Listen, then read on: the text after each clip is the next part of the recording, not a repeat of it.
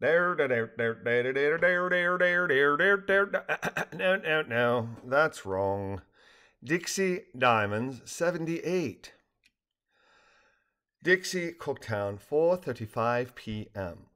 Alone in the home for less time than a cat can wink its eye, Lizzie and Edward were startled when their phone rang. Lizzie exclaimed, slapping the left side of her chest with her right hand while adding, Goodness, what timing! Then laughing as Edward also laughed at his fright from the phone's ring. I got it, Ed said, shaking his head and picking up the receiver on the second ring. Borden residence, he intoned without emotion. Eddie, it's Karen. I just received a phone call from Rozier's assistant, Joey Habener. The plan is for her and Rosier to go for a stroll, make a quick call to us, and then have Balloony establish a telepathic link with her. I need to phone her back and say we're clear to go, and then we can proceed. Everything good there?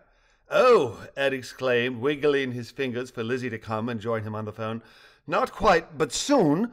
Balloony is having a quick reconnoiter inside Brentzy's mind to make sure he's headed towards Three Island National Park rather than Dixie. He shouldn't be but a moment, but he may need a bit of time to recover from his exposure to Brentzy's evil. Reconnoiter. Verb. Make a military observation of a region. I see, Karen replied, biting the left side of her lower lip. Do you think I should tell Joey five minutes or wait until Balloony checks in? Eddie, eyebrows raised, turned to Lizzie an invitation for her to speak. Hi, Karen, Liz here. We're a bit concerned that Balloony may need a bit of time to collect herself. Z was quite upset when Z subjected herself to direct contact with Brentzy's mind this morning, so it's probably best if he gives her a moment to compose herself. Karen sighed in response, but said, I see. Yes, yes, poor thing. All right, I'll let her know, and she can let Rozier know.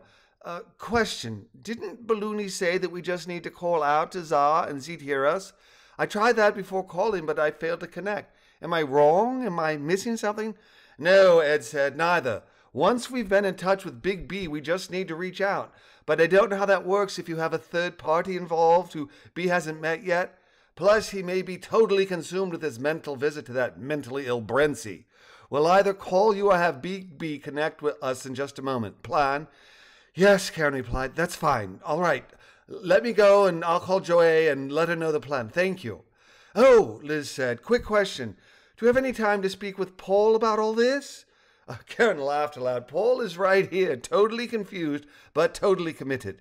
You'll reach out ASAP, yes? We will, Ed said, adding, Tell Paul it's possible we'll all be committed before this is over, won't you? He asked with a laugh.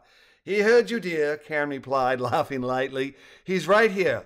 Bye for now, she added before hanging up.